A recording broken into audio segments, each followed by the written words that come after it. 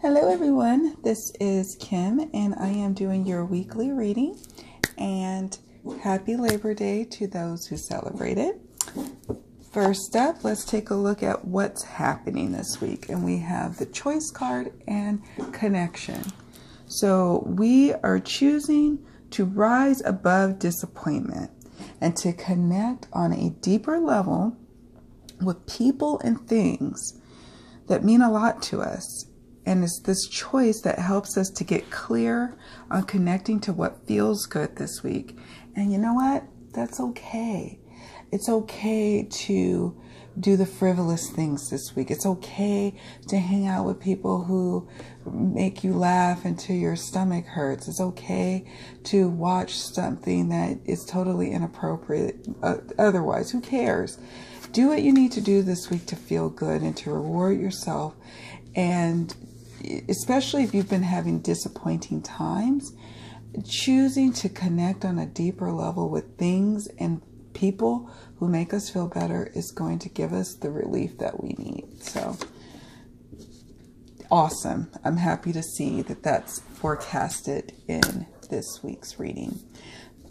What tools do we have at our disposal? We have vulnerability and taking off.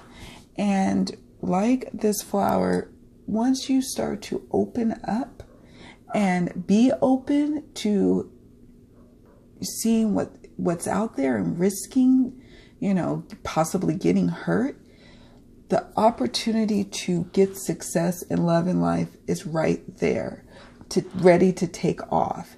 But you will have to utilize the tool of vulnerability to get there. And so this week, you know, you're opening up and finding yourself saying yes to things that you normally would say no to. And you're opening up, yes, there's risk and exposure to heartbreak, but the takeoff card does confirm a great reward is at hand for you. So you've got to be willing to share and open your gifts and share who you truly are and be your authentic self. You are embarking on a new journey this week, okay?